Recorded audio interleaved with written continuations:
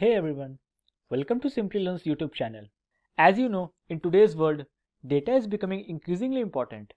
Entire professions are dedicated to studying, understanding, and manipulating the data. Hence, it is important to know about the different types of data and their associated properties.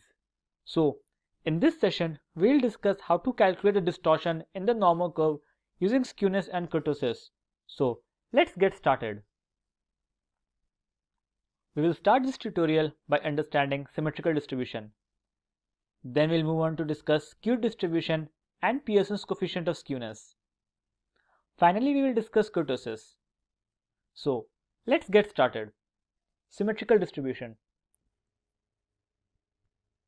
A distribution is said to be symmetrical distribution when it is equally distributed on both the sides of the mean value. The distribution shape can either be a bell-shaped or U-shaped. In symmetrical distribution, the values of mean, median and mode are all equal as you can see in the graph. Skewed distribution. Skewness is used to measure the level of asymmetry in our graph. It is a measure of asymmetry that occurs when our data deviates from the norm. Sometimes the normal distribution tends to be tilt more on one side. This is because the probability of data being more or less than the mean is higher and hence makes the distribution asymmetrical. This also means that the data is not equally distributed. The skewness can be of two types positively skewed and negatively skewed. Let's discuss them separately. Negatively skewed. In a negatively skewed distribution, the data points are more concentrated towards the right hand side of the distribution. As you can see in the graph, this makes the mean, median and mode bend towards the right. Hence, these values are always negative. In this distribution, mode is greater than median and median is greater than mean. Now let's move on to positively skewed distribution. In a distribution that is positively skewed, the values are more concentrated towards the right side and the left tail is spread out as you can see in the graph. Hence, the statistical results are bent towards the left hand side. Therefore, the mean, median and mode are always positive. In this distribution, mean is greater than median and median is greater than mode. The measure of skewness always help us to know to what degree and in which direction positive or negative the frequency distribution has a departure from symmetry. Positive or negative skewness can be detected graphically depending on whether the right tail or the left tail is longer, but we don't get the idea of the magnitude.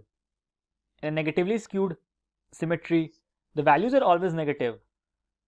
This is the symmetrical distribution and in a positively skewed, the values are always positive. Now let's discuss Pearson's coefficient of skewness. The median is always the middle value and the mean and the mode are the extremes. So we can derive the formula to capture the horizontal distance between the mean and the mode using the Pearson's first coefficient.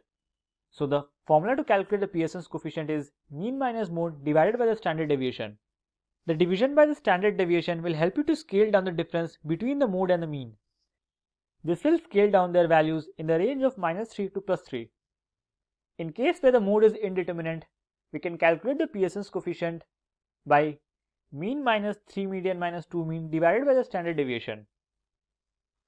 If the value of coefficient is between minus 0.5 and 0.5, the distribution of the value is always symmetrical. If the value of coefficient is 0, then the distribution is symmetrical. If the value of coefficient is positive, then the distribution is positively skewed. And if the coefficient is negative, then the distribution will be negatively skewed. Now that we have discussed this symmetrical and skewed distribution, let's move on to understand what is kurtosis. Kurtosis is used to find the presence of outliers in our data. It gives us the total degree of outliers present. The data can be heavily tailed and the peak can be flatter, almost like punching the distribution or squishing it. While skewness signifies the extent of the symmetry, kurtosis measures the degree of peakness of a frequency distribution. When the peak of the curve becomes relatively high, then the curve is called leptokurtic. And when the curve is flat, it is called platykurtic. When the curve is similar to the normal curve, it is called mesokurtic. The expected value of kurtosis is 3. This is observed in a symmetrical distribution. A kurtosis greater than 3 will indicate positive kurtosis. Further, a kurtosis less than 3 will mean a negative kurtosis. The range of value for a negative kurtosis is from minus 2 to infinity. The greater the value of kurtosis, the higher is the peak, as you can see from the graph. With this, we come to an end to this tutorial. Let's conclude what we have learned. You can say that skewness and kurtosis are used to describe the spread of height of a normal distribution. Skewness is used to denote the horizontal pull of the data. It tells you how spread out the data is and the kurtosis is used to find the vertical pull or the peak's height. Thank you all for watching this session. We hope you enjoyed it.